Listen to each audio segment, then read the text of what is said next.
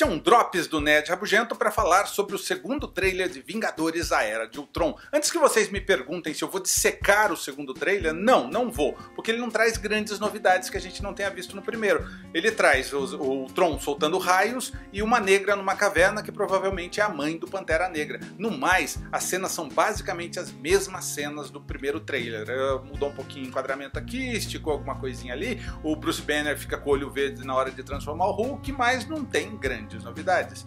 Então é isso. Aliás, eu fiquei pensando uma coisa: se não tem grandes novidades nesse segundo trailer, será que eles não têm grandes novidades para nos mostrar? Será que eles já mostraram tudo? Hum. Inscreva-se no canal do Nerd Rabugento!